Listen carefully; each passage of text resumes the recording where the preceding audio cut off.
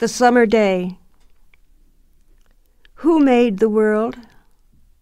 Who made the swan and the black bear? Who made the grasshopper?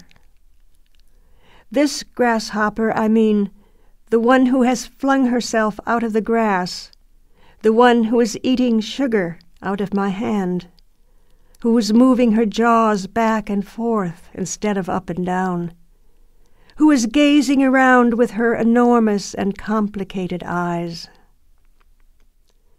Now she lifts her pale forearms and thoroughly washes her face.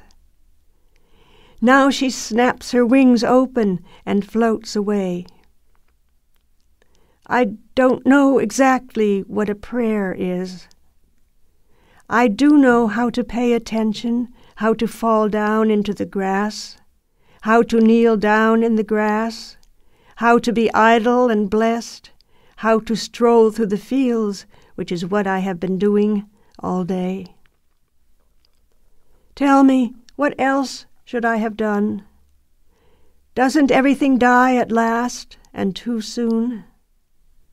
Tell me, what is it you plan to do with your one wild and precious life?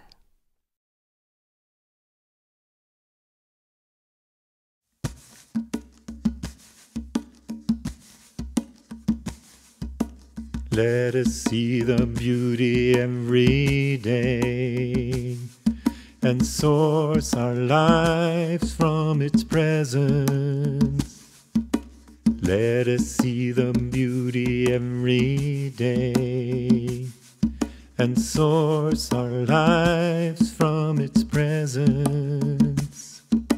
Let us see the beauty every day source our lives from its presence.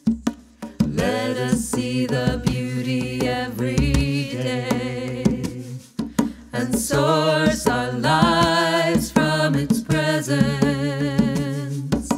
Let us see the beauty every day and source